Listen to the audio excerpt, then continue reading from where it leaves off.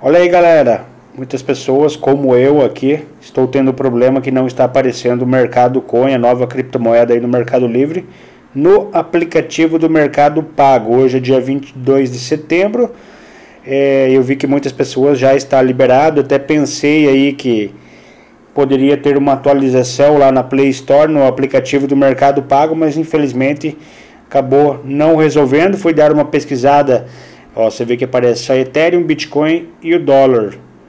Aí, pesquisando aí pelo notebook, na página oficial do Mercado Pago, sobre o Mercado Coins, tal, localizei essa mensagem aqui. Em breve, o Mercado Coin vai estar disponível em todas as contas Mercado Pago e Mercado Livre. Então, a realidade é que eles estão aí liberando aos poucos, né? É, começando ali o preço inicial, acho que era 10 centavos de dólar. E já soube que tinha pessoas comprando e vendendo tal pelo mercado pago, mas a gente, infelizmente, aí tem que aguardar que acredito que até o final do mês deve liberar aí, pelo que eu tinha visto em uma reportagem, acho que até para 18 milhões de usuários é, estaria liberando aí, então a grande chance que até o final do mês esteja funcionando aí para todo mundo. Até lá tem que aguardar, não tem muito o que fazer, né?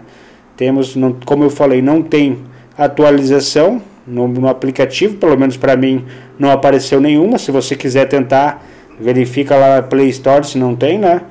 Pelo que, que eu imagino é a única possibilidade. Quem é insistente, talvez se você quiser é, mandar uma mensagem, talvez para eles, para ver se eles não conseguem liberar para você. Acho bem difícil, mas é uma possibilidade. Se não, teremos que aguardar. Então é isso. Valeu, galera. Um grande abraço. Até a próxima.